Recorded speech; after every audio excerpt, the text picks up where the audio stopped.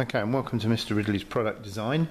And we're looking at an AS question here, and this is from Prod 1, and this is a question from June 2014. Um, it's from section C, so it's one, it says you must answer this question. Um, it's question 8. The photographs show a toy for children aged 4 years and older. So it's got a photograph there that you can see is a um, walkie-talkie kind of toy, and it just highlights the outer casing, and it says 8A1 or 8AI. Name a specific polymer suitable for the outer casing of the toy. Well, I, I would think the best one there um, would be ABS.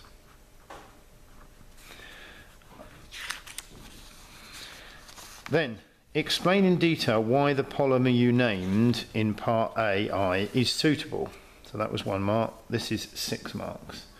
So what can we say about ABS? Well, we can say that um, ABS is an impact resistant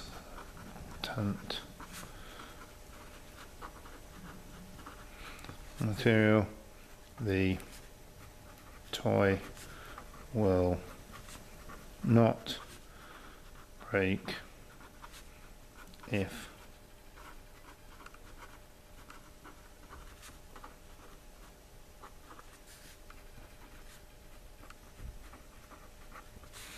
So what we're, what we're, looking at here is, is sets of two marks, two marks for a statement. So ABS is an impact resistant material, so that's uh, marks, uh, sorry, one to two marks. So one mark, ABS is an impact resistant material, that would be one mark, and the um, qualification or saying that the toy will not break if dropped onto the floor is, is another mark, so two marks.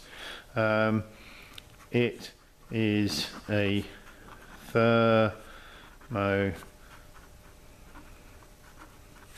stick so it can be recycled at the end of its life. So there's the statement, it's thermoplastic, it can be recycled. Um,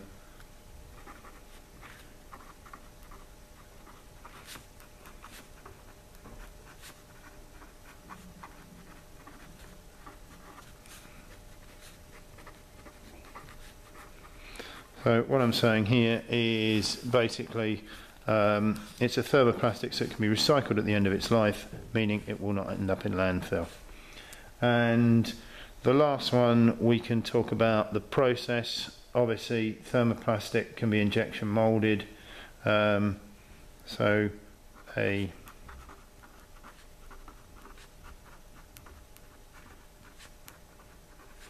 and B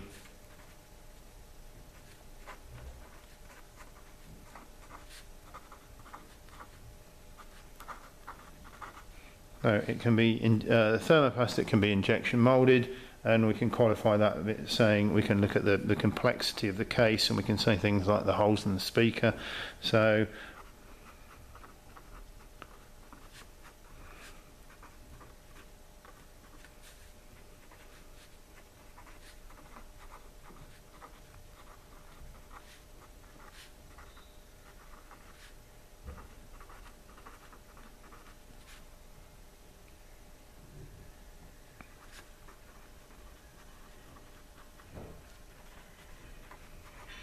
just going to add complex shapes. We could have a thermoplastic can be injection molded, and then we're justifying that by saying allowing the holes in the speaker to be added, um, or a complex shape holes to be added. Okay, so that's six marks. I think that would be a six mark there. We've got our one mark there. So that that's the first part of it.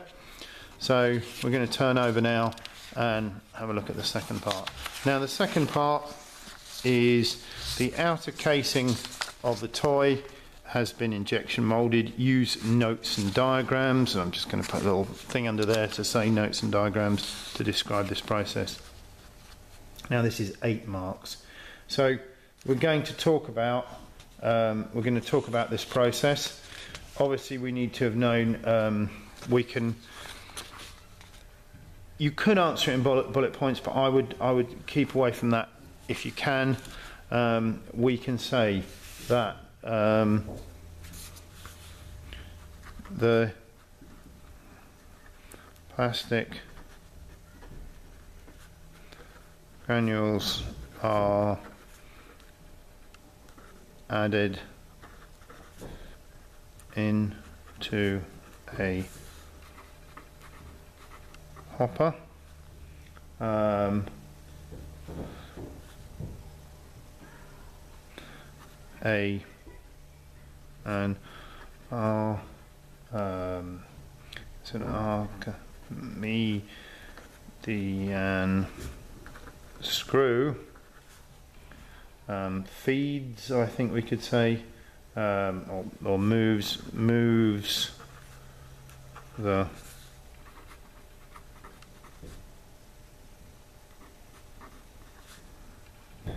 uh, move the granules past the heater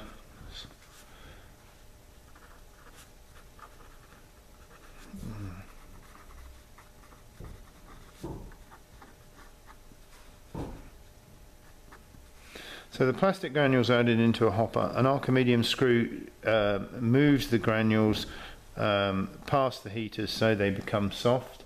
Now, it, it hasn't said here anything about actually relating it to the um, toy in the previous one, so we're just talking generally about um, injection moulding. Um, the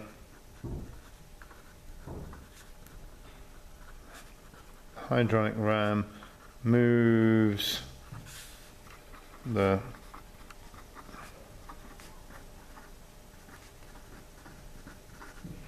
The hydraulic ram moves the screw forward, which injects the, could say molten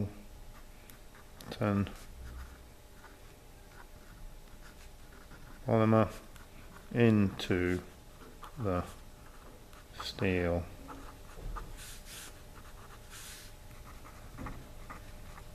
mold. Um, the mold is water cooled and the um, ejector pins um, push the finished product out. So there, there's my description there. What I'm going to do now is I'm going to do the because obviously it says diagram, so I'm going to going to do the diagram, and then um, I think we'll just go back through that. So the the diagram basically we have. Uh, um, just move this up. We start off. We'll start sort of in reverse. So here's a split steel mould.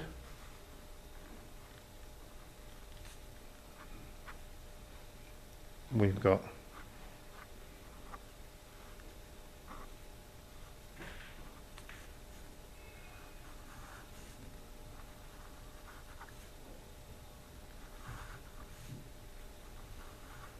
there.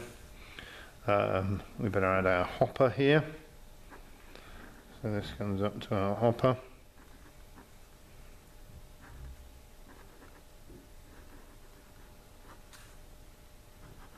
this back to here. Um, we need to add uh, heating elements. I'll label these up in a minute. Um, we need to add uh, Archimedean screw. So we can add that here.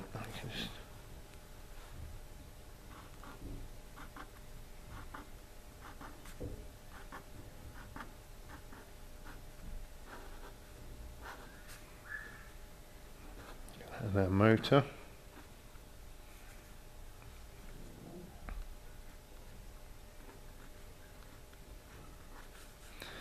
And I think we've got that motor. I think I think that's really everything. We can probably just add a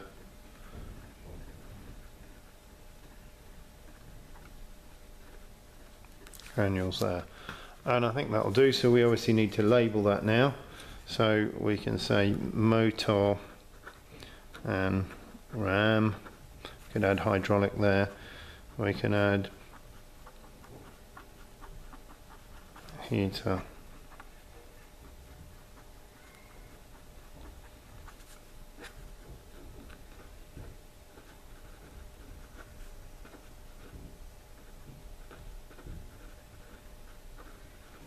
polymer granules, um,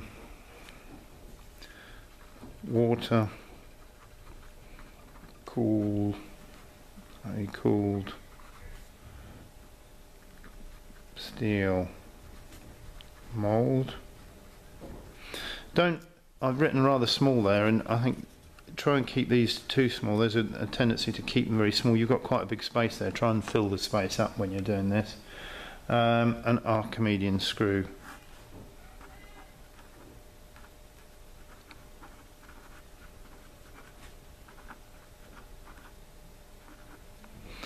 Um, you could just add a thing there for RAM. We could add a little revolution thing there. And I think that's good for um, uh, so there, there's our illustration. So we've got our illustration there. And now if we look at the, go back to look at the notes, we can say the plastic granules are added into the hopper here. An Archimedean screw drives the, the granules past the heaters here and here. The hydraulic ram moves the screw forward, which injects the molten polymer into the steel mold.